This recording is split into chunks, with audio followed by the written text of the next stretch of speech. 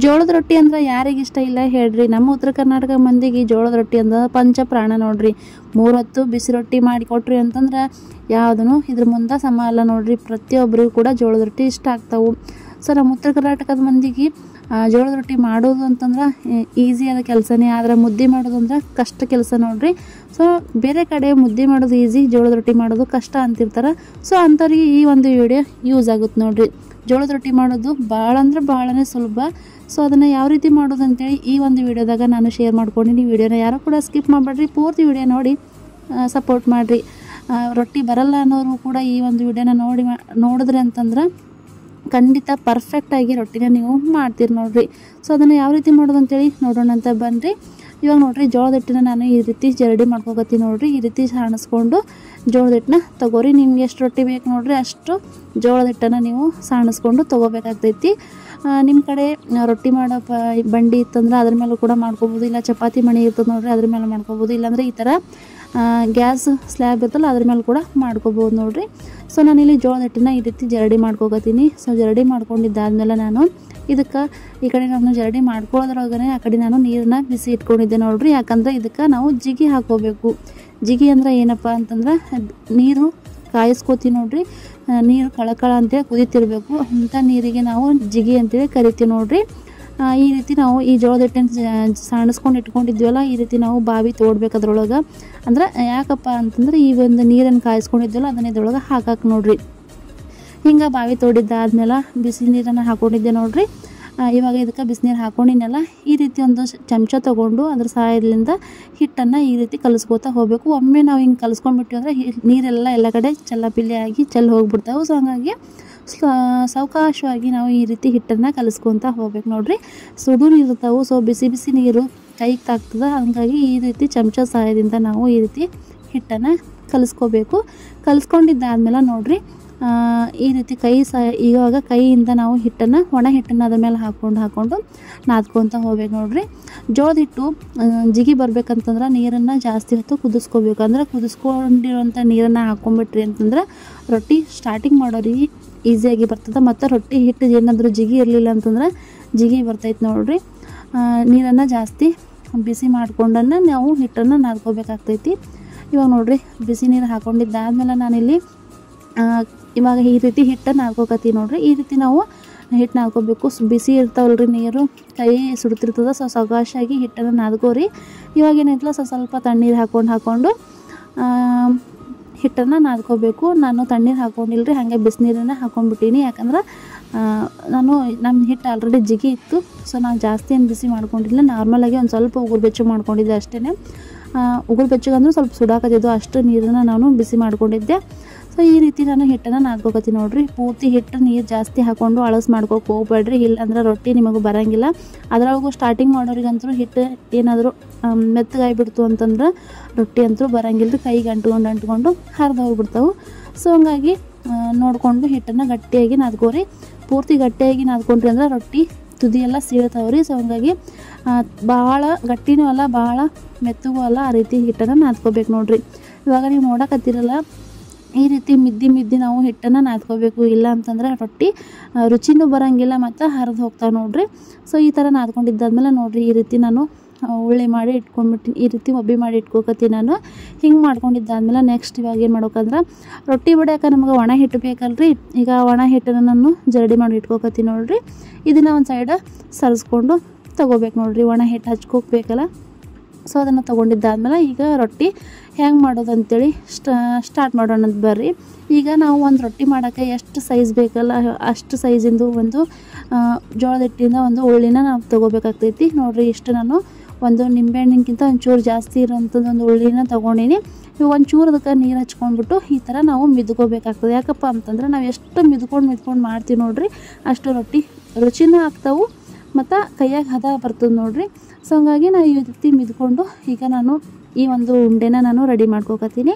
ಇಷ್ಟು ಮಾಡ್ಕೊಂಡಿದ್ದಾದ್ಮೇಲೆ ಅದನ್ನು ರೌಂಡಾಗಿ ಈ ರೀತಿ ಮಾಡ್ಕೋಬೇಕಾಗ್ತದೆ. ವಿಡಿಯೋದಾಗ ನೋಡಕತ್ತೀರಲ್ರಿ, ಈ ರೀತಿ ನೀವು ರೌಂಡಾಗಿ ಮಾಡಿಕೊಂಡು ಈ ರೀತಿ ತಟ್ಕೊಂಡು ಇವಾಗ ಕೆಳಗಡೆ ನಾವು ಏನು ಪರ್ಶ್ ರೊಟ್ಟಿ ಮಾಡಕತ್ತೀವಿ ನೋಡ್ರಿ, ಆ ಪರ್ಶಿ ಮೇಲೆ ನಾವು ಒಂದು ಸ್ವಲ್ಪ ಒಣ ಹಿಟ್ಟು ಹಾಕ್ಕೊಂಡು ಈ ರೀತಿ ಸ್ಟಾರ್ಟಿಂಗ ಬಡಿಬೇಕು. ನಿಮ್ಗೆ ರೊಟ್ಟಿ ಬಡಿಯೋಕೆ ಬರಲ್ಲ ಅಂತಂದ್ರೆ ಈಸಿಯಾಗಿರುವಂಥ ಮೆಥಡ್ನ ನಾನು ಈಗ ತೋರಿಸ್ತೀನಿ. ಆ ಒಂದು ಮೆಥಡ್ನ ಫಾಲೋ ಮಾಡಿಕೊಂಡು ನೀವು ರೊಟ್ಟಿನ ಮಾಡಿದ್ರಿ ಅಂತಂದ್ರೆ ಈಸಿಯಾಗಿ ರೊಟ್ಟಿನ ನೀವು ಮಾಡ್ತೀರಿ ನೋಡಿರಿ. ನೀವು ಚಪಾತಿ ಮಾಡ್ತೀರಲ್ಲ ಆ ಒಂದು ಆ, ಲತ್ತುಗುಣಿ ತೊಗೊಂಡು ಅದಕ್ಕೆ ನಾನು ಈ ರೀತಿ ಪ್ಲಾಸ್ಟಿಕ್ನ ಸುತ್ಕೊಂಡು ನೋಡಿರಿ. ಇವಾಗಂತೂ ಮಾರ್ಕೆಟ್ಗಳಿಗೆಲ್ಲ ರೊಟ್ಟಿ ಮಾಡೋಂಥದ್ದೇ ಒಂದು ಈ ರೀತಿ ಒಂದು ಆ, ಲತ್ತುಗುಣಿ ಸಿಗ್ತೈತಿ. ಸೊ ಅದನ್ನು ನೀವು ತೊಗೊಂಡು ಬಂದ್ರೆ ಗೆರೆ ಲೈನಿಂಗ್ ಲೈನಿಂಗ್ ಇರ್ತದೆ ನೋಡಿರಿ. ಸೊ ಅಂತ ತೊಗೊಂಬಂದ್ರಿ ಅಂತಂದ್ರೆ ಅದಕ್ಕೆ ಈ ರೀತಿ ಪ್ಲಾಸ್ಟಿಕ್ನ ಸುತ್ಕೋಬೇಕು. ಎರಡು ಸೈಡ್ ಏನಲ್ಲ ನೀವು ರಬ್ಬರ್ನ ಹಾಕ್ಕೊಂಡ್ಬಿಟ್ರಿ ಅಂತಂದ್ರೆ ಈಸಿಯಾಗಿ ನಾವು ರೊಟ್ಟಿನ ಮಾಡ್ಬೋದು ನೋಡ್ರಿ. ಈ ರೀತಿ ನಾನೀಗ ಹೆಂಗೆ ನಾನು ಸರಿಸ್ಕೊಂಡು ಸರ್ಸ್ಕೊಂಡು ರೊಟ್ಟಿನ ಚಪಾತಿ ಥರ ಒತ್ತಕತ್ತಿ ನೋಡ್ರಿ. ಆ ಥರ ಒತ್ಕೊಂಡ್ಬಿಟ್ರಿ ಅಂತಂದ್ರೆ ಈಸಿಯಾಗಿ ನೀವು ರೊಟ್ಟಿನ ಮಾಡ್ಬೋದು ನೋಡ್ರಿ. ನನಗೂ ಸ್ಟಾರ್ಟಿಂಗ್ ಈ ಮೆಥಡ್ ನನಗೆ ಬರ್ತಿರಲಿಲ್ಲ.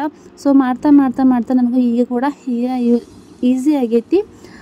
ಸೊ ಈ ರೀತಿ ಮಾಡಿದ್ರಂದ್ರೆ ರೊಟ್ಟಿ ಬಡಿಯೋಂಥ ತ್ರಾಸಿಲ್ಲ ಏನಿಲ್ಲ.